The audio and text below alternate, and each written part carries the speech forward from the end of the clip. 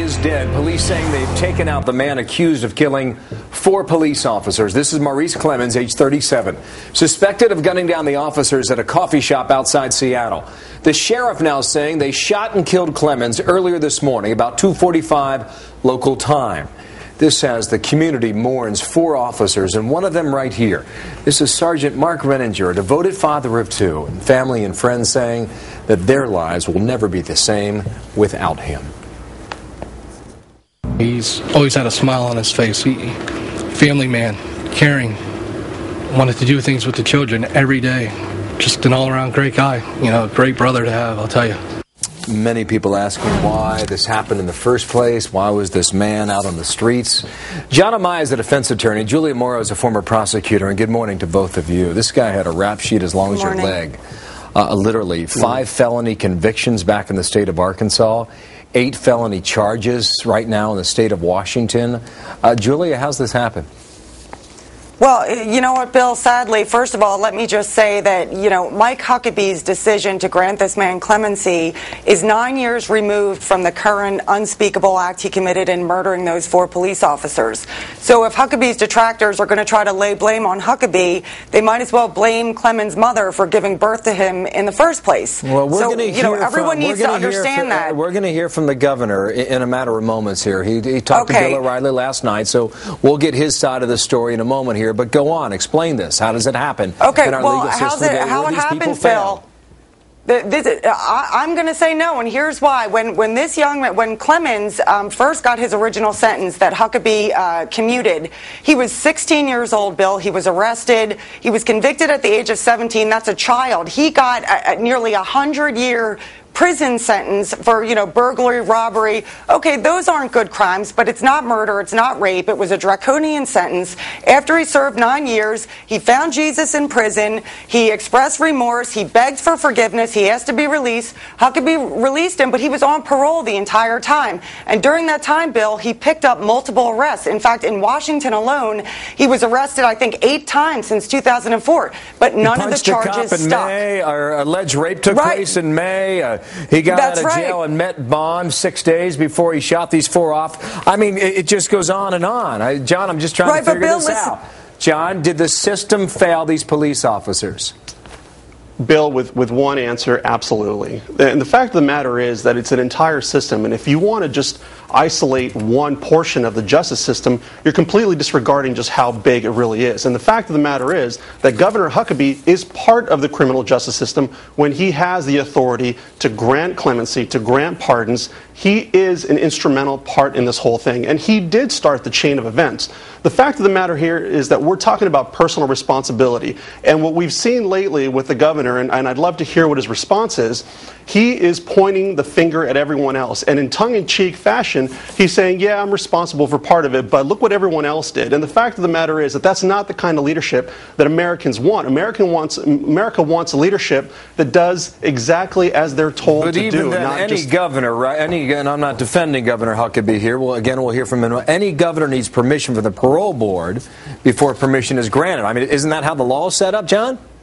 Absolutely, absolutely. And so the it's parole, not just the it's not board just has, one guy who's doing Right. it. I just want to make that clear. No, no, no, and, and, right. and I completely and I completely agree with you, Bill. It's not just one person, but what I'm saying here, it's not very presidential, if you will, given what um, Governor Huckabee's been trying Well, to do he's not a for the last president. couple of I, years. don't, I want to bring no, no, no. I, I in this, John. understand that. I I understand that. I understand that. Uh, Julia, No, but- I mean, based on what we can figure out about this guy's demented past, his family knew he had problems. His friends knew he had problems. And, and, and if you go back over history, whether it was Arkansas or the state of Washington, this guy's a career criminal. He is a career criminal, Bill, but for, for whatever reason, the charges didn't stick. And in fact, um, the arrest for assaulting police and raping the 12 year old relative that occurred back in May of, of 09 that landed him in prison until just six days ago, he was in prison for several months, from May until November, at which time he made bail. So why didn't the Washington state authorities bring him to trial during that time? For whatever reason, Bill, none of the charges have stuck against this guy. Yeah, he's a career criminal, and he's as lucky as as anyone I've ever He, seen. no, he's and not lucky. He used the system. I mean, the, Uh, well- this research is not hard to find. It took us all of five Well, minutes to, to track down his record, Julia. Yeah, well, I know that, but the point I'm trying to make is, you know, witnesses didn't show up, evidence was insufficient. He got out on technicalities. He's gotten lucky in terms of him being able to skate by despite all of these arrests. Then the system's and this gotta has get nothing better, to do. John. Well, the system Absolutely, does Bill. have Look, to get let me, let me let me just explain something real quick. When we talk about puni- when we talk about punishment in the criminal justice system, the, the, the three main points and, and goals of punishment are, are deterrence, rehabilitation, and retribution. And the fact of the matter is that in this particular case, it is very clear that there was a lot of focus on, on, on, on deterrence and, and retribution, but there was no focus whatsoever on rehabilitating this person. This person should never have been released because he wasn't rehabilitated. And the parole board had an opportunity to see as such. And of course, the judges in Washington state also played a part. And I don't know all the evidence that was submitted, but as a former law clerk and former trial attorney at the Department of Justice, I know that these issues are heavily weighed upon the shoulders of these judges when they're making these calculations, but they do take the criminal history into consideration. I don't know what happened here. Uh, and it is a sad day for these families, too. They are left to mourn, and, and the, all four of these officers led outstanding lives, and leave children and spouses behind, and uh, we pray for their, their families today. Julia, thank you. John, thank you as well. I know you Thank both you. brought up Governor Huckabee.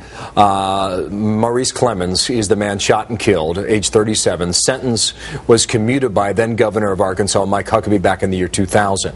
Uh, last night, the former governor explained his decision uh, on the O'Reilly factor. Roll this.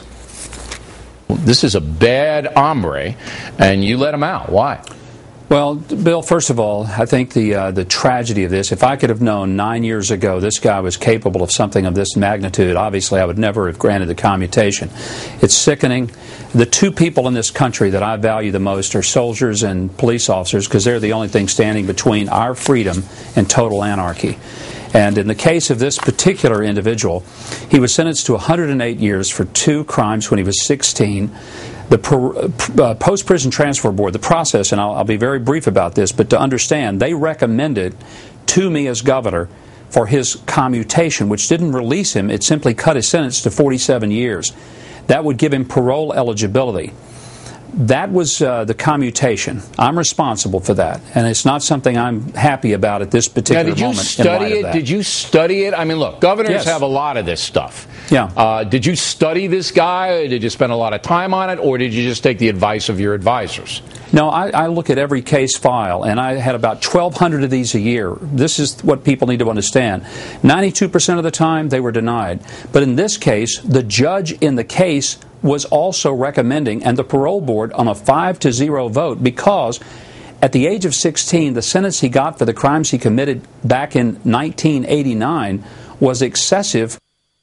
From last night on the O'Reilly Factor with the former governor, Mike Huckabee. After his release in Arkansas back in 2000, Clemmons was accused of committing another armed robbery. And before this Seattle cop killing over the weekend, he was charged with child rape and assaulting a police officer. Those charges in the state of Washington. 22 minutes now.